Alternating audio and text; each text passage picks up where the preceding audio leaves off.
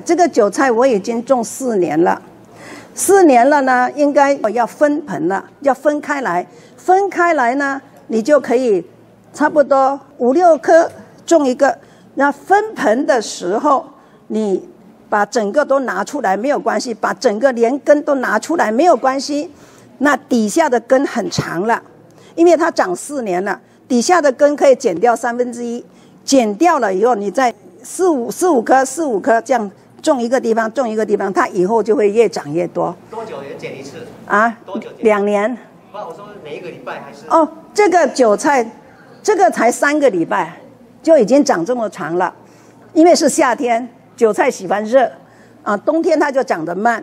那这个差不多三个礼拜、四个礼拜，你们就可以割来吃了，啊，割韭菜的时候一定要割的跟泥土平，不可以剪这上面啊，割跟泥土平。每一次剪完了以后，鸡粪肥撒一点点，上面盖一点点土，每天浇水。像这个夏天是每天浇水的，哦，那它就会长得很快。OK，好。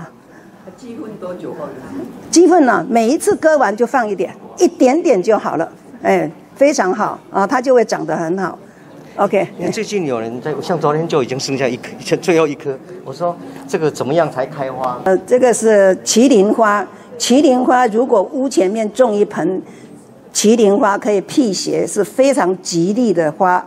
OK。台湾台湾的习俗了。哎，对。有七个颜色哈。对。他大部分都喜欢红色的。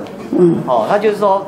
哎，怎么讲？辟邪是不是？辟邪，对。而且现在有新品种，十年了哦，用新新品种哦。我在农业改良场，它它没有刺哦，可是反而不，没有人想要。他他说要有刺的。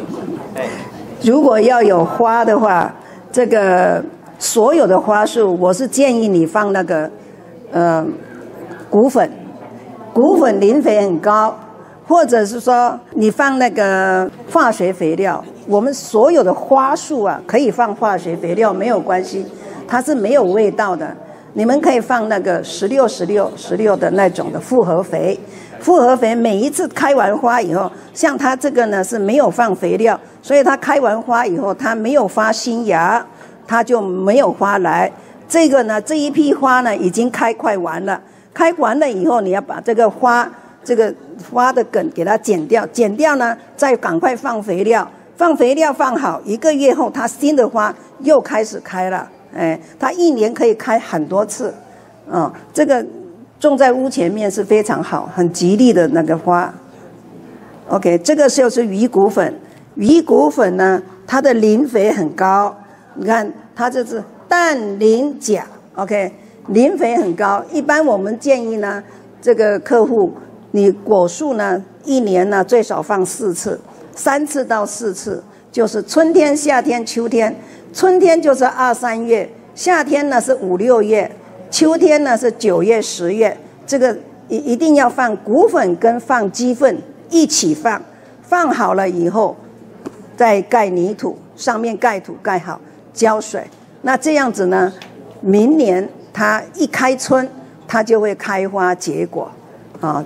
这个是肥料是非常重要的，很多人都不懂，就说哎，一年到晚就是只是浇水，没有放肥料。那希望以后还有机会来跟大家讨论怎么样种果树。谢谢，谢谢，谢谢。